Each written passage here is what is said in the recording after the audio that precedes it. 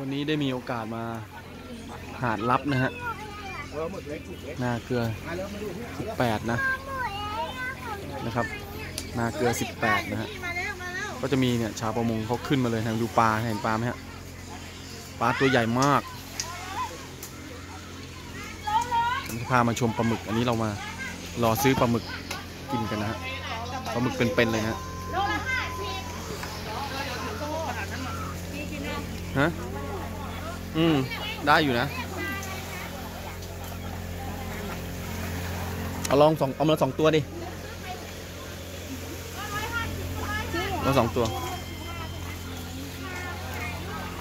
แล้วก็จะมีปลาเก๋า มีกุ้ง มีอะไรเงี้ยฮะเนี่ย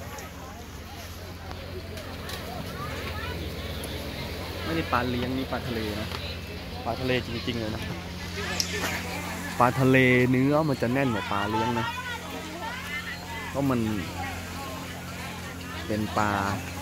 เรียกปลาที่กว้างเนาะแข็งแรงกว่านะ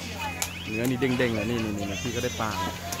ปลาแล้วเนี่ยนะนี่คือปลาแล้วปลายังชน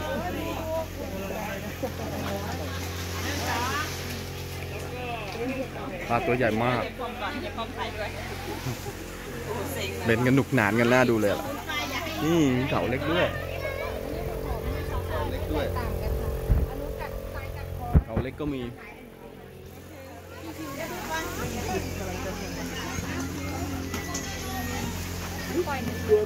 ฮะ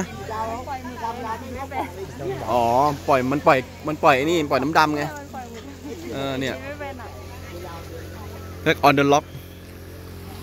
นี่ไปเดินปลาดูปลาหมึก on the lock นี่กินทั้งตัวนะ กินทั้งตัวสั่งไว้ยังอะอ๋อสั่งแล้วใช่ไหมนี่ฟินสุดๆเลยนะหมึกหอมนะหมึกหอมหมึกศอกหมึกศอกแล้วก็ไอ้กรอบตัวหนึ่งสุดอะพาชมบรรยากาศรอบคิ สุดติ่งกระดิ่งแมวกันไป ถ้าใครชอบกินเอ่อปลาหมึกสดๆนะ นี่ฮะ ที่นี่เลยครับ ดูเบอร์ฮะ ชัดๆ ซาซิมิหาดลับ ยำปูม้าสดนะครับ เบอร์โทรตามนี้เลยนะฮะ น้องเขาน่ารักนะ ถึงลูกค้าเขาจะเยอะ แต่ว่าเขาก็พูดจาแบบน่ารักอะ่ะ เป็นกันเองนะ แนะนำฮะ